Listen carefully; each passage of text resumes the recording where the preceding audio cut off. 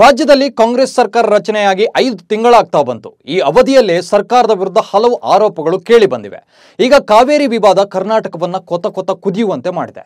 ಆದರೆ ವಿಪರ್ಯಾಸ ನೋಡಿ ಇಷ್ಟೆಲ್ಲ ಆಗ್ತಿದ್ರು ಸರ್ಕಾರದ ವಿರುದ್ಧ ಗಟ್ಟಿ ಧ್ವನಿ ಎತ್ತಲು, ಸಮರ್ಥವಾಗಿ ಎದುರಿಸಲು ವಿಪಕ್ಷ ನಾಯಕನೇ ಇಲ್ಲ. ಬಿಜೆಪಿ ರಾಜ್ಯಾಧ್ಯಕ್ಷರಿದ್ರು ಆಟಕ್ಕುಂಟು ಲೆಕ್ಕಕ್ಕಿಲ್ಲ ಅನ್ನುವ ಪರಿಸ್ಥಿತಿ. ಹೀಗೆ ವಿಪಕ್ಷ ನಾಯಕ, ರಾಜ್ಯಾಧ್ಯಕ್ಷ ಪಟ್ಟವೇ ಅತಂತ್ರವಾಗಿರುವಾಗ ಬಿಜೆಪಿ ನಾಯಕರು ಸಿಎಂ ಕುರ್ಚಿ ಕನಸು ಕಾಣ್ತಾ ಇದ್ದಾರೆ. ಅದು ಕೂಡ ಬಿಜೆಪಿಯ ಫೈರ್ ಬ್ರ್ಯಾಂಡ್ ಅಂತಾನೆ ಕರೆಸಿಕೊಳ್ಳುವ ವಿಜಯಪುರ ಕ್ಷೇತ್ರದ ಶಾಸಕ ಬಸನಗೌಡ ಪಾಟೀಲ್ ಯತ್ನಾಳ್ ಮುಖ್ಯಮಂತ್ರಿ ಆಗಬೇಕು ಅನ್ನೋ ಆಸೆ ಹೊರಹಾಕಿದ್ದಾರೆ. ಮುಂದಿನ ಜನವರಿಗೆ ಕಾಂಗ್ರೆಸ್ ಸರ್ಕಾರ ಪತನವಾಗುತ್ತೆ ಅಂತ ಬಾಂಬ್ ಸಿಡಿಸಿದ್ದಾರೆ. ಹಾಗಾದ್ರೆ ಬಿಜೆಪಿ ನಾಯಕರ ಲೆಕ್ಕಾಚಾರವೇನು? ಸರ್ಕಾರ ಪತ್ರದ ಭವಿಷ್ಯ ನಿಜವಾಗುತ್ತಾ? ಯತ್ನಾಳ್ರನ್ನ ವಿಪಕ್ಷ ನಾಯಕನನ್ನಾಗಿ ಆಯ್ಕೆ ಮಾಡಿದ ಹೈಕಮಾಂಡ್ ಸಿಎಂ ರನ್ನಾಗಿ ಮಾಡುತ್ತಾ? ಇದೇ ಇವತ್ತಿನ ಅತಿ ದೊಡ್ಡ ಸುದ್ದಿಯಾಗಿದ್ದು ಈ ಬಗ್ಗೆ ಸಂಪೂರ್ಣ ಮಾಹಿತಿ ಕೊಡ್ತೀನಿ. ನಮಸ್ಕಾರ ಸ್ನೇಹಿತರೆ, ನೀವು ನೋಡೋದಕ್ಕೆ ಶುರು ಮಾಡಿದ್ದೀರಿ ಸುದ್ದಿಯಾನದ ನ್ಯೂಸ್ ಶೋ. ನಾನು ಕಿಶೋರ್ ಕೆವಿ ನೀವು ಸುದ್ದಿಯಾನದ ಸಬ್ಸ್ಕ್ರೈಬರ್ ಆಗೋಕೆ ಮರಿಬೇಡಿ. ಇವತ್ತಿನ ಅತಿ ದೊಡ್ಡ ಸುದ್ದಿಯನ್ನು ನೋಡುವ ಮುನ್ನ ಕ್ರಿಕೆಟ್ ಕುರಿತ ಒಂದು ಇಂಟ್ರೆಸ್ಟಿಂಗ್ ಮಾಹಿತಿಯನ್ನು ಕೊಡ್ತೀನಿ. ವರ್ಲ್ಡ್ ಕಪ್ ಟೂರ್ನಿ ಆರಂಭವಾಗೋಕೆ ದಿನಗಣನೆ ಶುರುವಾಗಿದೆ. ಈ ನಡುವೆ ಎರಡು ಸಾವಿರದ ಹನ್ನೊಂದರ world cup hero Yuvraj Singh ಅಂದು ಸಚಿನ್ ತೆಂಡೂಲ್ಕರ್ ನೀಡಿದ್ದ ಸಲಹೆಯೊಂದನ್ನು ಈಗಿನ ಟೀಮ್ ಇಂಡಿಯಾಗೆ ನೀಡಿದ್ದಾರೆ. ವಿಶ್ವಕಪ್ ಆರಂಭವಾಗೋಕ್ಕೂ ಮುನ್ನ ಟೀಮ್ ಮೀಟಿಂಗ್ನಲ್ಲಿ ಸಚಿನ್ ಎಲ್ಲ ಪ್ಲೇಯರ್ಸ್ಗಳಿಗೂ ಒಂದು ಟಿಪ್ಸ್ ಕೊಟ್ಟಿದ್ರಂತೆ. ಯಾವುದೇ ಕಾರಣಕ್ಕೂ ನ್ಯೂಸ್ ಚಾನೆಲ್ಗಳಲ್ಲಿ ದಿನಪತ್ರಿಕೆಗಳಲ್ಲಿ ತಂಡದ ಬಗ್ಗೆ ಏನು ವರದಿಯಾಗ್ತಿದೆ ಅನ್ನೋದನ್ನ ಗಮನಿಸೋಕೆ ಹೋಗಬೇಡಿ. ಮಾಧ್ಯಮಗಳ ಸುದ್ದಿಗೆ ಕಿವಿ ಕೊಡಲೇಬೇಡಿ. ಏರ್ಪೋರ್ಟ್ನಲ್ಲಿ ಜನರ ಮಧ್ಯೆ ಪಾಸ್ ಆಗುವಾಗ ಕಿವಿಗೆ ಹೆಡ್ಫೋನ್ ಹಾಕೊಂಡು ಹಾಡು ಕೇಳಿ. ಜನರ ಮಾತನ್ನ ಆಲಿಸೋಕೆ ಹೋಗಬೇಡಿ. ಕೇವಲ ಗೇಮ್ ಮೇಲೆ ಮಾತ್ರ ಫೋಕಸ್ ಮಾಡಿ ವರ್ಲ್ಡ್ ಕಪ್ ಮೇಲೆ ಮಾತ್ರ ಕಾನ್ಸಂಟ್ರೇಟ್ ಮಾಡಿ ಅಂತ ಸಚಿನ್ ಸಲಹೆ ನೀಡಿದರು. ಎಲ್ಲ ಆಟಗಾರರು ಕೂಡ ಸಚಿನ್ ಸಲಹೆಯನ್ನು ಒಪ್ಪಿಕೊಂಡು ಟೂರ್ನಿ ಮುಗಿಯುವವರೆಗೂ ಕೂಡ ಯಾರು ಟಿವಿನೂ ನೋಡಿಲ್ಲ ನ್ಯೂಸ್ ಪೇಪರ್ ಕೂಡ ಓದಿಲ್ಲ. ಏರ್ಪೋರ್ಟ್ನಲ್ಲಿ ಹೋಗುವಾಗ ಕಿವಿಯಿಂದ ಹೆಡ್ಫೋನ್ ತೆಗೆದೇ ಇಲ್ಲ. ಈಗ ಇದೇ ಟಿಪ್ಸನ್ನು ಯುವರಾಜ್ ಸಿಂಗ್ ಈಗಿನ ಟೀಮ್ ಇಂಡಿಯಾಗೂ ನೀಡಿದ್ದಾರೆ. ಈಗ ಇವತ್ತಿನ ಪ್ರಮುಖ ಸುದ್ದಿಯತ್ತ ಬರೋಣ. ವಿಧಾನಸಭೆ ಹೀನಾಯ ಸೋಲಿನ ಬಳಿಕ ಬಿಜೆಪಿ ಹೈಕಮಾಂಡ್ ಕರ್ನಾಟಕವನ್ನ ಕೇರೆ ಮಾಡ್ತಿಲ್ಲ ಅನ್ನೋ ಮಾತುಗಳಿವೆ. ಇದೇ ಕಾರಣಕ್ಕೆ ವಿಪಕ್ಷ ನಾಯಕ ಮತ್ತು ರಾಜ್ಯಾಧ್ಯಕ್ಷನನ್ನ ಆಯ್ಕೆ ಮಾಡುವ ಗೋಜಿಗೆ ಕೂಡ ಹೋಗ್ತಿಲ್ಲ. ನಾವಿಕನಿಲ್ಲದ ದೋಣಿಯಂತಾಗಿರುವ ರಾಜ್ಯದಲ್ಲಿ ಬಿಜೆಪಿಗರು ಬಹಳ ಮುಜುಗರ ಅನುಭವಿಸ್ತಾ ಇದ್ದಾರೆ. ಎದುರಾಳಿ ಪಕ್ಷಗಳಿಂದ ಟೀಕೆಗೂ ಒಳಗಾಗಿದ್ದಾರೆ. ವಿರೋಧ ಪಕ್ಷದ ನಾಯಕನ ರೇಸ್ನಲ್ಲಿ ಹಲವರ ಹೆಸರಿದ್ದು, ಅದರಲ್ಲಿ ಬಸನಗೌಡ, ಯತ್ನಾಳ್ ಕೂಡ ಒಬ್ರು. ಆದ್ರೀಗ ಅದೇ ಯತ್ನಾಳ್ ಸಿಎಂ ಕುರ್ಚಿಗೆ ಇರುವ ಆಸೆಯನ್ನು ಹೊರಹಾಕಿದ್ದಾರೆ. ಅದು ಕೂಡ ಉತ್ತರ ಪ್ರದೇಶವನ್ನ ಉದಾಹರಣೆಯಾಗಿ ಕೊಟ್ಟು ಮುಖ್ಯಮಂತ್ರಿ ಕನಸನ್ನ ಬಿಚ್ಚಿಟ್ಟಿದ್ದಾರೆ. ಜನವರಿಯಲ್ಲಿ ರಾಜ್ಯ ಸರ್ಕಾರ ಪತ್ರವಾಗುತ್ತೆ. ಅವರ ಪಕ್ಷದವರೇ ಅವರ ಸರ್ಕಾರವನ್ನ ಬೀಳಿಸ್ತಾರೆ. ನಾವೇ ನೇರವಾಗಿ ಸಿಎಂ ಆಗಬಹುದು. ಇದೇ ಕಾರಣಕ್ಕೆ ವಿರೋಧ ಪಕ್ಷದ ನಾಯಕರನ್ನ ಆಯ್ಕೆ ಮಾಡಿಲ್ಲ ಎಂದು ಮಾರ್ಮಿಕವಾಗಿ ಹೇಳಿದ್ದಾರೆ. ಹಾಗಾದ್ರೆ ಯತ್ನಾಳ್ ಸಿಎಂ ಆಗುವ ಬಗ್ಗೆ ಮಾತನಾಡ್ತಿರೋದು ಯಾಕೆ? ವಿಪಕ್ಷ ನಾಯಕನೇ ಆಗದ ಯತ್ನಾಳ್ ಸಿಎಂ ಆಗ್ತಾರ? ನೂರ ಮೂವತ್ತೈದು ಸ್ಥಾನ ಗೆದ್ದಿರುವ ಕಾಂಗ್ರೆಸ್ ಸರ್ಕಾರ ಪತನವಾಗುತ್ತಾ? ಈ ಬಗ್ಗೆ ಕಂಪ್ಲೀಟ್ ಮಾಹಿತಿ ಕೊಡ್ತೀನಿ. ಮೊದಲಿಗೆ ಯತ್ನಾಳ್ ಸಿಎಂ ಕುರ್ಚಿ ಬಗ್ಗೆ ಹೇಳಿರೋದನ್ನ ವಿವರಿಸ್ತಾ ಹೋಗ್ತೇನೆ. ಹಾವೇರಿಯಲ್ಲಿ ಗಣಪತಿ ಉತ್ಸವದ ವೇಳೆ ಯತ್ನಾಳ್ ಸಿಎಂ ಆಗುವ ಆಸೆ ಬಿಚ್ಚಿಟ್ಟಿದ್ರು. ಒಂದಲ್ಲ ಒಂದು ದಿನ ಉತ್ತರ ಪ್ರದೇಶ ಮಾದರಿಯಲ್ಲಿ ರಾಜ್ಯಕ್ಕೂ ಜೆಸಿಬಿ ಬರುತ್ತೆ. ನಾನು ಕೂಡ ಆ ಸ್ಥಾನಕ್ಕೆ ಬಂದೇ ಬರ್ತೇನೆ ಅಂತ ಹೇಳಿದ್ರು. ಅಷ್ಟೇ ಅಲ್ಲ, ಕೆಲವೊಮ್ಮೆ ಪಕ್ಷದಲ್ಲಿ ನಮ್ಮಂಥವರಿಗೂ ಕೂಡ ಟಿಕೆಟ್ ಕೊಡೋದಿಲ್ಲ. ಯಾಕಂದ್ರೆ ವಂಶ ಬೆಳೆಸಬೇಕಲ್ಲ, ಮಕ್ಕಳಿಗೆ ಮೊಮ್ಮಕ್ಕಳಿಗೆ ಅಧಿಕಾರ ಕೊಡಬೇಕಲ್ಲ ಎಂದು ವಂಶ ರಾಜಕಾರಣದ ಬಗ್ಗೆ ಕಿಡಿಕಾರಿದ್ರು. ಎರಡು ತಿಂಗಳು ಗೃಹ ಸಚಿವರನ್ನಾಗಿ ಮಾಡಿದ್ರೆ ಕರ್ನಾಟಕವನ್ನ ಉತ್ತರ ಪ್ರದೇಶದಂತೆ ಮಾಡ್ತೇನೆ ಎಂದಿದ್ರು. ಪೊಲೀಸರ ಕೈಯಲ್ಲಿ ಗನ್ ಕೊಡ್ತಾರೆ, ಆದರೆ ಅದನ್ನ ಬಳಸುವಂತಿಲ್ಲ ಅಂತಾರೆ. ಇಂದು ಕರ್ನಾಟಕದಲ್ಲಿ ನಮ್ಮ ಬಾವುಟ ಹಾರಿಸಲು ವಿರೋಧ ಮಾಡಿದವರು ಮುಂದಿನ ದಿನಗಳಲ್ಲಿ ನಮ್ಮ ಬಾವುಟ ಹಾರಿಸುವ ಹಾಗೆ ಮಾಡ್ತೇನೆ ಅಂತ ಯತ್ನಾಳ್ ಹೇಳಿದ್ರು. ಹೀಗೆ ಉತ್ತರ ಪ್ರದೇಶ ಹಾಗೂ ಯೋಗಿ ಆದಿತ್ಯನಾಥ್ ಸರ್ಕಾರದ ಜೆ ಸಿ ಬಿ ಮಾದರಿಯ ಆಡಳಿತವನ್ನು ಪ್ರಸ್ತಾಪಿಸುವ ಮೂಲಕ ಯತ್ನಾಳ್ ನಾನು ಕೂಡ ಸಿ ಎಂ ಆಗ್ತೇನೆ ಅನ್ನೋ ಆಸೆಯನ್ನು ಬಿಚ್ಚಿಟ್ಟಿದ್ರು ಆದರೆ ಇದೇ ಯತ್ನಾಳ್ ಈ ಹಿಂದೆ ಸಿಎಂ ಮಾಡಲು ಹಣಕ್ಕೆ ಬೇಡಿಕೆ ಇಟ್ಟಿದ್ದಾರೆ ಅನ್ನೋ ಗಂಭೀರ ಆರೋಪ ಕೂಡ ಮಾಡಿದರು. ಕೆಲವರು ನನ್ನ ಬಳಿ ಬಂದು ಎರಡು ಸಾವಿರದ ಐನೂರು ಕೋಟಿ ರೂಪಾಯಿ ಕೊಟ್ಟರೆ ಸಿ ಎಂ ಮಾಡ್ತೇವೆ ಅಂತ ಹೇಳಿದರು. ಆದರೆ ಅದಕ್ಕೆ ನಾನು ಒಪ್ಪಲಿಲ್ಲ ಹೇಗೆ ಕೊಡಲಿ ನಾನು ಅಷ್ಟೊಂದು ದುಡ್ಡು ಗೋದಾಮಿನಲ್ಲಿ ಇಡಬೇಕಾ ಅಥವಾ ಎಲ್ಲಿ ಇಡಬೇಕು ಅಂತ ಪ್ರಶ್ನಿಸಿದೆ ಅಂತ ಅವರು ಹೇಳಿದರು. ನಾನು ವಾಜಪೇಯಿ ಕಾಲದಲ್ಲಿ ಕೇಂದ್ರ ಸಚಿವನಾಗಿದ್ದವನು. ನಾನು ಹಣ ಕೊಟ್ಟು ಅಥವಾ ಶಿಫಾರಸು ಮಾಡಿ ಸಿ ಎಂ ಆಗಬೇಕಾಗಿಲ್ಲ ಎನ್ನುವ ಮೂಲಕ ಪರೋಕ್ಷವಾಗಿ ಹೈಕಮಾಂಡ್ ವಿರುದ್ಧ ಗುಡುಗಿದ್ರು. ಇದಿಷ್ಟೇ ಅಲ್ಲದೆ ಸ್ವಪಕ್ಷ ನಾಯಕರ ವಿರುದ್ಧವೇ ಯತ್ನಾಳ್ ಹಲವು ಬಾರಿ ಮಾತನಾಡಿದ್ದಾರೆ. ಬಿಜೆಪಿಯಲ್ಲಿ ಪ್ರಬಲ ನಾಯಕನಾಗಿ ಬೆಳೆದಿರುವ ಬಸನಗೌಡ ಪಾಟೀಲ್ ಯತ್ನಾಳ್ ರಾಜ್ಯದಲ್ಲಿ ಪ್ರಭಾವಿ ನಾಯಕರು ಕೂಡ ಆಗಿದ್ದಾರೆ. ಹೀಗಾಗಿ ಈ ಹಿಂದೆಯೂ ವಿಪಕ್ಷ ನಾಯಕನ ಹುದ್ದೆ ವಿಚಾರದಲ್ಲಿ ಯತ್ನಾಳ್ ಹೆಸರು ಪ್ರಬಲವಾಗಿ ಕೇಳಿ ಬಂದಿತ್ತು. ಇನ್ನೇನು ಘೋಷಣೆಯೊಂದೇ ಬಾಕಿ ಎನ್ನುವ ಮಟ್ಟಕ್ಕೆ ಕೂಡ ಹೋಗಿತ್ತು. ಕೆಲವೊಂದು ವಿಚಾರಗಳಲ್ಲಿ ಯತ್ನಾಳ್ ಪ್ರಭಾವಿ ಶಾಸಕರಾಗಿದ್ದರೂ ಕೂಡ ಬಿಜೆಪಿ ಹೈಕಮಾಂಡ್ಗೆ ಅವರ ವಿಚಾರದಲ್ಲಿ ಕೆಲ ಆತಂಕಗಳು ಕೂಡ ಇವೆ.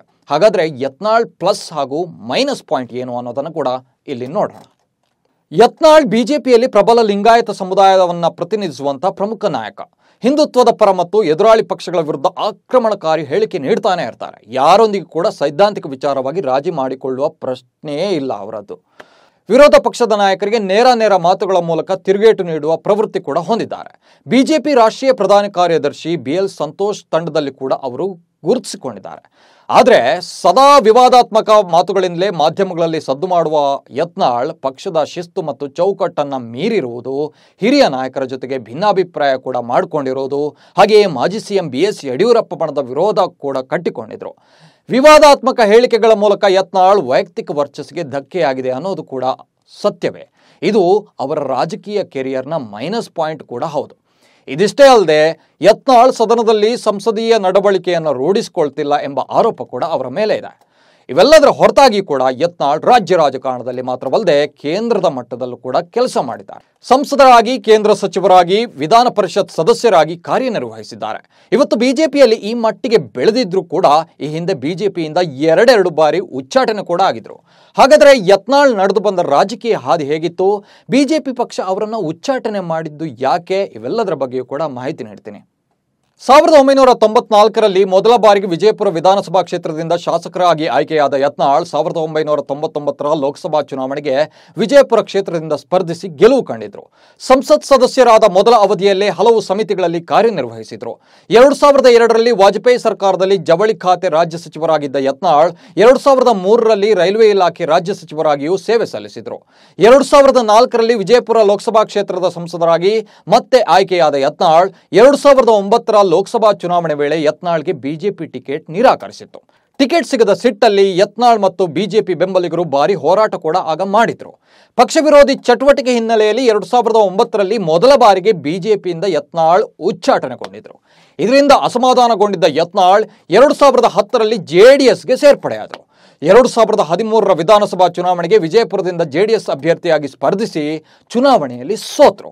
ಬಳಿಕ ಜೆಡಿಎಸ್ ರಾಜ್ಯಾಧ್ಯಕ್ಷ ಸ್ಥಾನಕ್ಕೆ ಕೂಡ ಅವರು ಬೇಡಿಕೆ ಇಟ್ಟಿದ್ರು. ರಾಜ್ಯಾಧ್ಯಕ್ಷ ಹುದ್ದೆ ಸಿಗದ ಕಾರಣ ಅಸಮಾಧಾನಗೊಂಡು ಯತ್ನಾಳ್ ಮತ್ತೆ ಬಿಜೆಪಿಗೆ ಬಂದರು. ಎರಡು ಸಾವಿರದ ಹದಿನೈದರಲ್ಲಿ ವಿಜಯಪುರದ ಸ್ಥಳೀಯ ಸಂಸ್ಥೆಗಳ ಕ್ಷೇತ್ರಕ್ಕೆ ವಿಧಾನ ಪರಿಷತ್ ಚುನಾವಣೆ ನಡೆದಿತ್ತು. ಎರಡು ಸಾವಿರದ ಹದಿನೈದರಲ್ಲಿ ಬಿಜೆಪಿ ಟಿಕೆಟ್ಗೆ ಬೇಡಿಕೆ ಇಟ್ಟಿದ್ದ ಬಸನಗೌಡ ಪಾಟೀಲ್ ಯತ್ನಾಳ್, ಆದರೆ ಟಿಕೆಟ್ ಸಿಗದ ಕಾರಣ ಸ್ವತಂತ್ರ ಅಭ್ಯರ್ಥಿಯಾಗಿ ಸ್ಪರ್ಧಿಸಿ ಗೆದ್ದಿದ್ರು. ಬಂಡಾಯ ಅಭ್ಯರ್ಥಿಯಾಗಿ ಸ್ಪರ್ಧಿಸಿದ್ದಕ್ಕೆ ಆರು ವರ್ಷಗಳ ಕಾಲ ಬಿಜೆಪಿಯಿಂದ ಯತ್ನಾಳ್ ಮತ್ತೊಮ್ಮೆ ಉಚ್ಚಾಟನೆಗೊಂಡರು. ಮೂರು ವರ್ಷಗಳ ಬಳಿಕ ಯತ್ನಾಳ್ ಅವರನ್ನು ಬಿಜೆಪಿ ಮತ್ತೆ ಪಕ್ಷಕ್ಕೆ ಸೇರಿಸಿಕೊಂಡ್ಬಿಡ್ತು. ಎರಡು ಸಾವಿರದ ಹದಿನೆಂಟು ಹಾಗೂ ಎರಡು ಸಾವಿರದ ಇಪ್ಪತ್ತ್ಮೂರರ ವಿಧಾನಸಭಾ ಚುನಾವಣೆಯಲ್ಲಿ ವಿಜಯಪುರ ಕ್ಷೇತ್ರದಿಂದ ಸ್ಪರ್ಧಿಸಿ ಬಸನಗೌಡ ಯತ್ನಾಳ್ ಗೆಲುವು ಕಂಡಿದ್ರು. ಹಿಂದುತ್ವದ ಅಜೆಂಡಾ ಮೂಲಕವೇ ಬಿಜೆಪಿಯಲ್ಲಿ ಪ್ರಬಲ ನಾಯಕನಾಗಿ ಬೆಳೆದಿರುವ ಯತ್ನಾಳ್ಗೆ ಅವರ ನಾಲಗೆ ಪ್ಲಸ್ ಮತ್ತು ಮೈನಸ್ ಪಾಯಿಂಟ್ ಕೂಡ ಆಗಿದೆ. ಹೀಗಾಗಿ ಕೇಸರಿ ಪಾಳಯದಲ್ಲಿ ಯತ್ನಾಳ್ ಬಿಸಿ ತುಪ್ಪವಾಗಿದ್ದಾರೆ. ಕೆಲವು ನಾಯಕರು ಯತ್ನಾಳ್ರೇ ವಿಪಕ್ಷ ನಾಯಕ ಆಗಬೇಕು ಅಂತ ಬಹಿರಂಗವಾಗಿಯೇ ಹೇಳಿಕೆ ನೀಡಿದ್ದಾರೆ. ರಾಷ್ಟ್ರೀಯತೆ, ಹಿಂದುತ್ವ ಎಲ್ಲವನ್ನು ಯತ್ನಾಳ್ ಗಟ್ಟಿಯಾಗಿ ಪ್ರತಿಪಾದಿಸ್ತಾರೆ.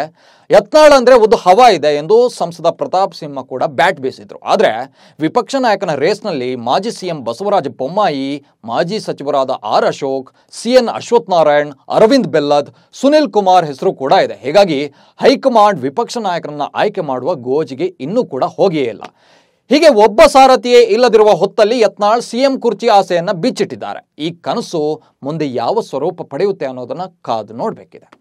ಇನ್ನು ಕರ್ನಾಟಕ ಬಿಜೆಪಿ ರಾಜ್ಯಾಧ್ಯಕ್ಷರನ್ನಾಗಿ ಶಾಸಕ ಬಿವೈ ವಿಜಯೇಂದ್ರ ಅವರನ್ನು ಆಯ್ಕೆ ಮಾಡುವಂತೆ ರೇಣುಕಾಚಾರ್ಯ ಅವರು ಇವತ್ತು ಹೇಳಿಕೆ ನೀಡಿದ್ದಾರೆ. ವಿಜಯೇಂದ್ರ ಅವರನ್ನ ಬಿಜೆಪಿ ರಾಜ್ಯಾಧ್ಯಕ್ಷರನ್ನಾಗಿ ಮಾಡಿದ್ರೆ ಪಕ್ಷಕ್ಕೆ ಲೋಕಸಭೆ ಚುನಾವಣೆಯಲ್ಲಿ ಒಳ್ಳೆಯದಾಗುತ್ತೆ. ರಾಜ್ಯದಲ್ಲಿ ಮೋದಿ ಫೋಟೋ ತೋರಿಸಿದ್ರೆ ಸಾಲದು.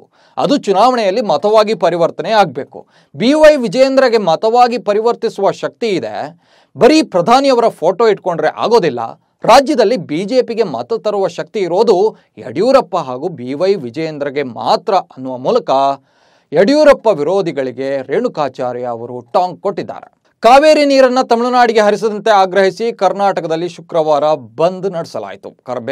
ಬೆಂಗಳೂರಿನಲ್ಲಿ ವಾಟಾಳ್ ನಾಗರಾಜ್ ನೇತೃತ್ವದಲ್ಲಿ ಪ್ರತಿಭಟನೆ ನಡೆಯಿತು. ಇನ್ನು ಕನ್ನಡ ಚಿತ್ರರಂಗ ಕೂಡ ಬಂದ್ಗೆ ಬೆಂಬಲ ನೀಡಿದ್ದು, ಚಿತ್ರರಂಗದ ಕೆಲಸಗಳು ಸ್ಥಗಿತವಾಗಿದ್ದು, ನಟ, ನಟಿಯರು ಭಾಗಿಯಾಗಿ ಕನ್ನಡಿಗರ ಪರ ಬ್ಯಾಟ್ ಬೀಸಿದರು. ಇನ್ನು ಕನ್ನಡ ಪರ ಸಂಘಟನೆಗಳು ಅಕ್ಟೋಬರ್ ಐದರಂದು ಕೆಆರ್ಎಸ್ ಚಲೋಗೆ ಕರೆ ನೀಡಿದೆ. ಈ ಮೂಲಕ ಹೋರಾಟ ಮುಂದಿನ ದಿನಗಳಲ್ಲಿ ಇನ್ನಷ್ಟು ತೀವ್ರ ಸ್ವರೂಪ ಪಡೆದುಕೊಳ್ಳುವ ಮುನ್ಸೂಚನೆ ಸಿಕ್ಕಿದೆ. ಇನ್ನು ಬೆಂಗಳೂರಿನಲ್ಲಿ ಮಾತ್ರವಲ್ಲ, ರಾಜ್ಯಾದ್ಯಂತ ಪ್ರತಿಭಟನೆಗಳಿಗೆ ಮಿಶ್ರ ಪ್ರತಿಕ್ರಿಯೆ ಕೂಡ ವ್ಯಕ್ತವಾಗಿದೆ. ಕಾವೇರಿ ನೀರು ಹರಿಸುವ ವಿಚಾರದಲ್ಲಿ ಕರ್ನಾಟಕಕ್ಕೆ ಮತ್ತೊಂದು ಶಾಕ್ ಎದುರಾಗಿದೆ. ಶುಕ್ರವಾರ ಕಾವೇರಿ ನೀರು ಬಿಡುಗಡೆ ವಿಚಾರವಾಗಿ ನಡೆದ ಸಭೆಯಲ್ಲಿ ಸಿಡಬ್ಲ್ಯೂಆರ್ಸಿ ಆದೇಶವನ್ನ ಸಿಡಬ್ಲ್ಯೂಎಂಎ ಎತ್ತಿ ಹಿಡಿದಿದೆ. ಹಳೆಯ ಆದೇಶದಂತೆ ಹದಿನೆಂಟು ದಿನ ಮೂರು ಸಾವಿರ ಕ್ಯೂಸೆಕ್ ನೀರು ಬಿಡುವಂತೆ ಆದೇಶ ನೀಡಿದೆ. ಅಕ್ಟೋಬರ್ ಹದಿನೈದರವರೆಗೂ ತಮಿಳುನಾಡಿಗೆ ನೀರು ಹರಿಸಲು ಕಾವೇರಿ ನೀರು ನಿರ್ವಹಣಾ ಸಭೆಯಲ್ಲಿ ಆದೇಶ ನೀಡಲಾಗಿದೆ.